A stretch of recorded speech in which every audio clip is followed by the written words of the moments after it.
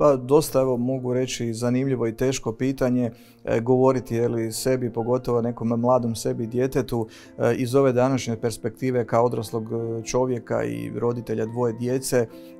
Teško da mogu zamisliti kako je bilo mojim roditeljima u to vrijeme. Otac je bio na ratištu, majka je radila kao medicinska sestra u bolnici uz te sve silne ranjenike i događanja koja su bila svakodnevna, ta strašna događanja. Ona se morala brinuti za dvoje djece, za mene i stariju sestru i zaista vjerujem da joj to nije bilo lako, a dijete kao dijete, svako dijete na ovom svijetu u ratnoj zoni, u sigurnoj zoni e, želi imati samo jednu stvar, a to je djetinstvo. E, često možemo čuti e,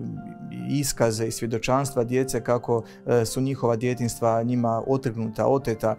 Moje djetinstvo je takvo kakvo je, ja ga ne mogu promijeniti, ali moram priznati da neke stvari koje sam tada doživio i koje sam vidio, koje ja vjerujem da niti jedno dijete na ovom svijetu ne bi trebalo vidjeti, me formiralo kao osobu, jako sam osjetljiv, pogotovo danas kada vidim, evo i kao roditelj, vjerujem kao i svaki roditelj na ovom svijetu, e, na patnje, e, pogotovo onih e, najmlađih i jednostavno ono što je tada bilo kao sedmogodišnjem djetetu izlaz iz te situacije koja nije bila niti malo normalna, niti običajna. Danas često kažemo, onaj izraz koristimo novo normalno, ono je zaista bilo abnormalno i nenormalno u svakom pogledu te riječi i dijete, sedmogodišnje dijete je našlo izlaz, ako mogu tako reći, e, u stripovima i kada sam pronašao prije nekoliko godina ovu fotografiju iz 91. godine na kojoj čitam e, strip i sjetio sam se onako tih vremena jer kad god bi se dogodilo da ne znam e, pala bomba ili granata ili nešto slično na trgovinu, gardisti, branitelji su nam donosili u bolnicu živežne namirnice, namirnice i sve ostalo i često su onda rekli gdje je onaj dečko što čita stripove pa su mi dečki donosili stripove koje sam ja čitao cijele noći pod slabom rasvjetom ta neka ljubav možda prema pisanoj riječi je ostala i dan danas, ali kažem kao i svako dijete trudio sam se imati normalno djetinstvo, koliko sam u tome uspio ne znam, ali znam sigurno da danas kao roditelj dvoje djece imam poseban senzibilitet za tu patnju i nadam se evo da ono što smo mi doživjeli da nitko nikada više u slobodnoj Hrvatskoj neće doživjeti.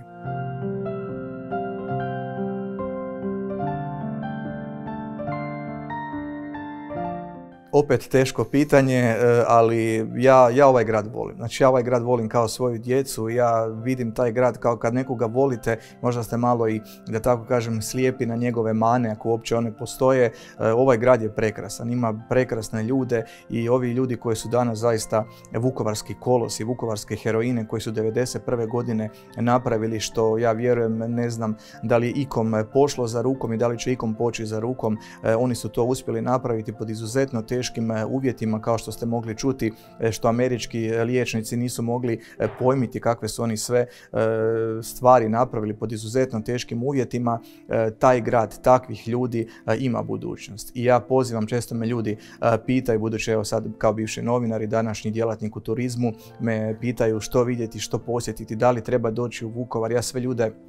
pozivam dođite u Vukovar, popite kavu, pojedite, prošećite se. Vukovar je grad muzeja, Vukovar je grad vodotornja, jednog simbola zajedništva koji spaja i želim da Vukovar, kao što je bio 1991. godine, kada su svi gledali mahnito vijesti na televiziji ili na radiju, slušali događanja i e, one sve strašne stvari koje su se događale u Vukovaru, želim da Vukovar danas bude e, središte nekakvog ujedinjenja, kada ljudi dođu u Vukovar da vas dočekaju sretna i nasmišena lica, kao i svaki grad, kažem realan sam, kao i svaki grad ima svoje poteškoće, ali vjerujte mi kada dođete u Vukovar i kada, što kažu, popijete Dunavsku vodu i napijete se Dunavske vode, vjerujte mi da ćete se vratiti i ovaj grad zaista ima veliko srce, a u to veliko vukovarsko srce mogu stati svi dobri ljudi.